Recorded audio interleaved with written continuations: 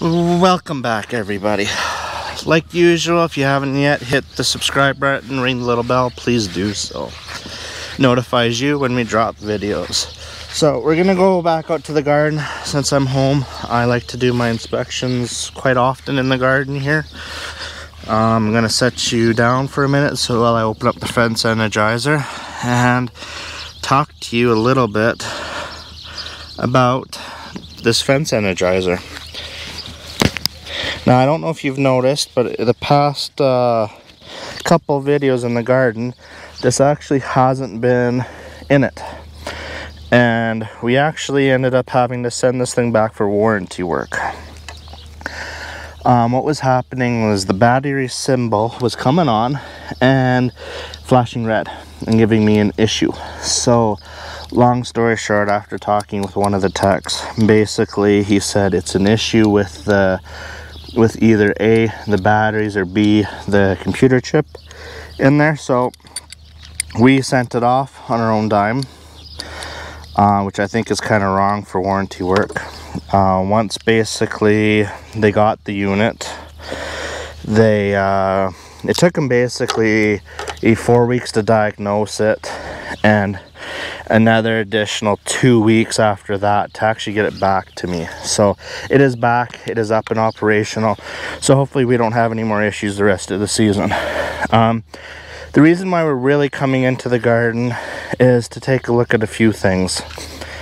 Um, I want to look at plant health and um, see what's going on on some of these plants. Um, we are hitting extremely high temperatures still so we're still above our 30s and normally we're never this hot, but we're hot enough to the point to be very concerned.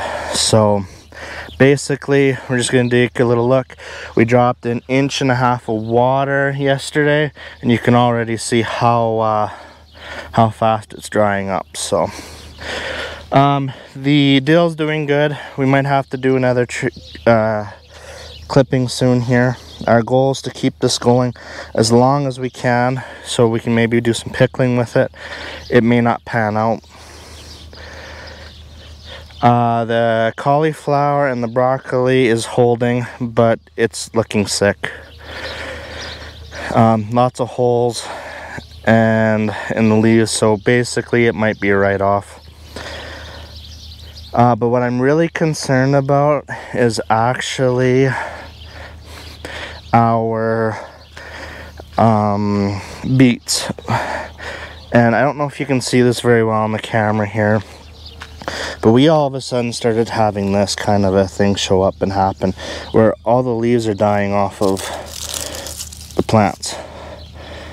And I don't understand. So we've done some diagnosing and we've noticed it there and we've also known it up here starting to happen. There is a couple holes in the leaves but that's from the hail we had the other day.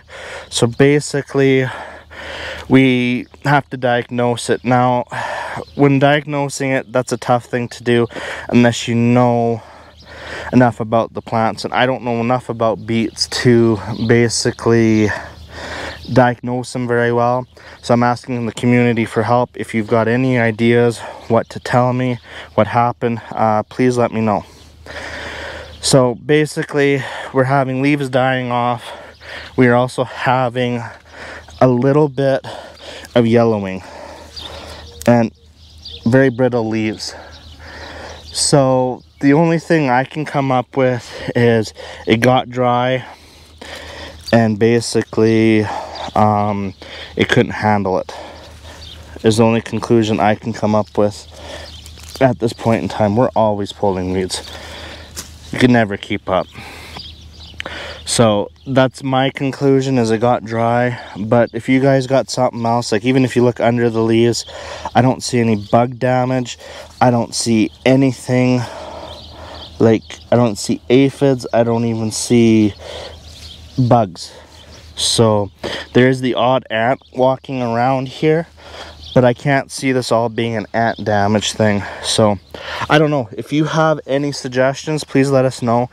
We're going to have to end up probably more than likely pickling or pressure canning this and we're not going to be able to do anything with the tops so if you got any suggestions please let us know um, we don't know what happened here uh, beets are new to us. Anything else I can pretty much diagnose pretty well. So once again thank you so much for watching. And if you made it this far with us thank you. We appreciate each and every one of you. Have a great rest of your day